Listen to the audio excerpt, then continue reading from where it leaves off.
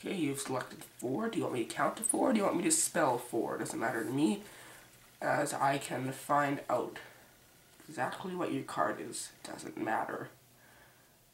Just, you can lie, or you can tell the truth.